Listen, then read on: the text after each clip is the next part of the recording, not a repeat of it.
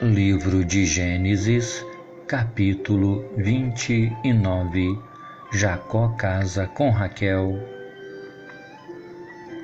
Jacó concordou e, quando terminou a semana de festas do casamento de Leia, Labão lhe deu a sua filha Raquel como esposa. Labão tinha dado a sua escrava Bila a Raquel para ser escrava dela.